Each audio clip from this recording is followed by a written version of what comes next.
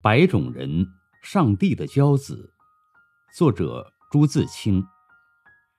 去年暑假到上海，在一路电车的头等里，见一个大西洋人带着一个小西洋人僵并地坐着。我不能确切地说他是英国人或美国人，我只猜他们是父与子。那小西洋人，那白种的孩子不过十一二岁光景，看去是个可爱的小孩儿，引我久长的注意。他戴着平顶硬草帽，帽檐下端正的露着长圆的小脸儿，白中透红的面颊，眼睛上有着金黄的长睫毛，显出和平与秀美。我向来有种脾气。见了有趣的小孩，总想和他亲热，做好同伴；若不能亲热，便随时亲近亲近也好。在高等小学时，附设的初中里有一个养着乌黑的稀发的刘军，真是伊人的小鸟一般。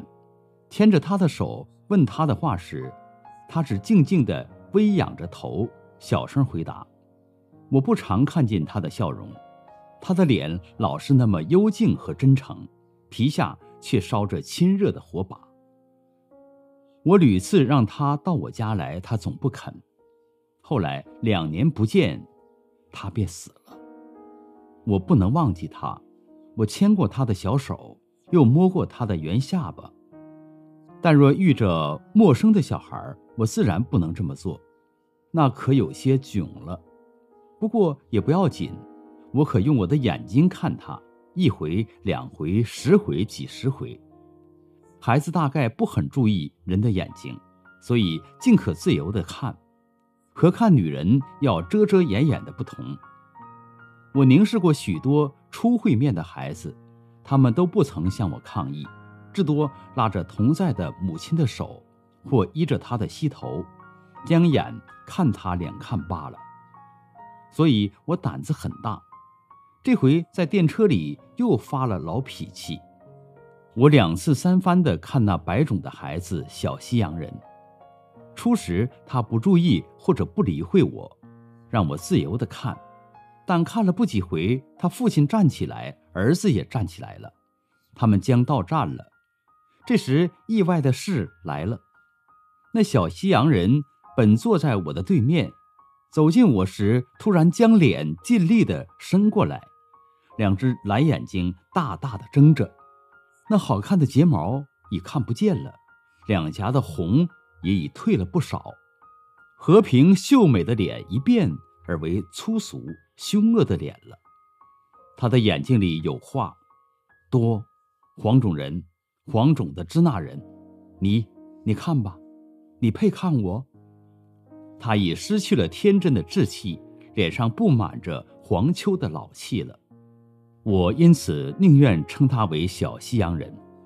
他伸着脸向我，足有两秒钟。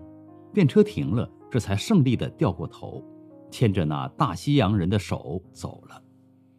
大西洋人比儿子似乎要高出一半，这时正注目窗外，不曾看见下面的事。儿子也不去告诉他。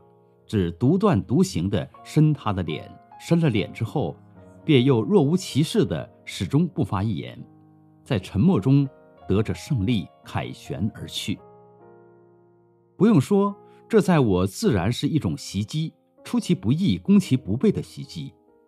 这突然的袭击使我张皇失措，我的心空虚了。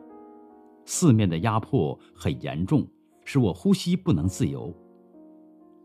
我曾在恩城的一座桥上遇见一个女人，我偶然的看她时，她却垂下了长长的黑睫毛，露出老练和鄙夷的神色。那时我也感着压迫和空虚，但比起这一次就稀薄多了。我在那小西洋人的两颗枪弹似的眼光之下，茫然的觉得有被吞食的危险，于是身子不知不觉的缩小。大有在奇境中的阿丽丝的劲儿。我默默然目送那父与子下了电车，在马路上开步走，那小西洋人竟未一回头，断然的去了。我这时有了迫切的国家之感，我做着黄种的中国人，而现在还是白种人的世界，他们的骄傲与践踏当然会来的。我所以张皇失措而觉得恐怖者，因为那骄傲我的、践踏我的不是别人，只是一个十来岁的白种的孩子，竟是一个十来岁的白种的孩子。我向来总觉得孩子应该是世界的，不应该是一种、一国、一乡、一家的。我因此不能容忍中国的孩子叫西洋人为洋鬼子。但这个十来岁的白种的孩子，竟已被沁入人种与国家的两种定型里了。